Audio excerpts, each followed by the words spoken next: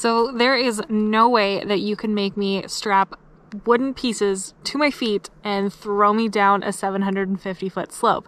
However, I am here at Blue Mountain for the day, and I'm going to show how other non skiers like myself can enjoy this ski village.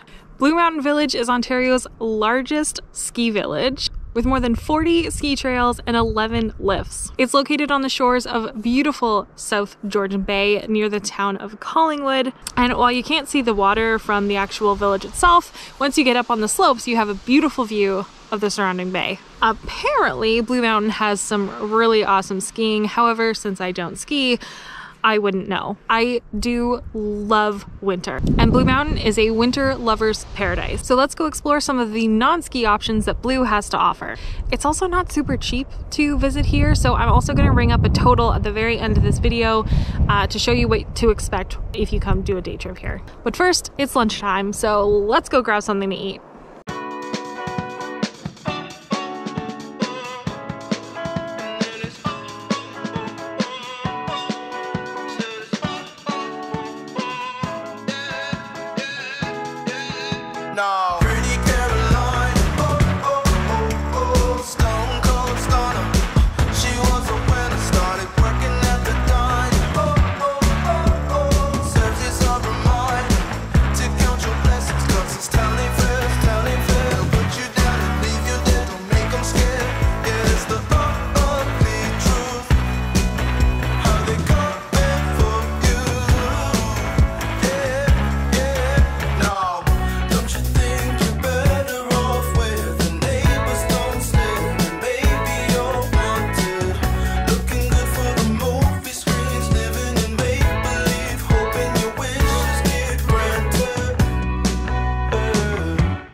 Okay, after wandering around Blue, I am ready for my first adventure and we're gonna go snowshoe. Let's do it.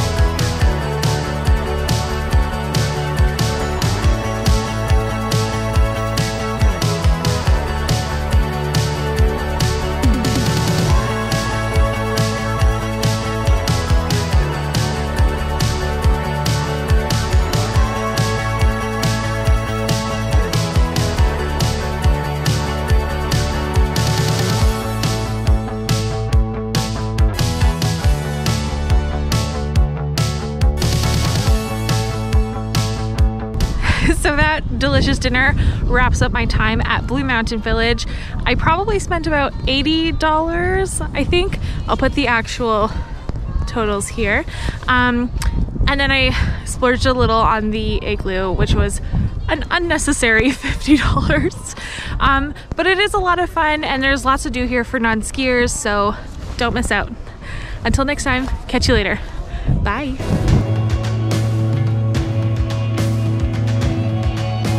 Blue Mountain Village is Blue Mountain Village is Ontario's oldest village. Nope, that's not true at all.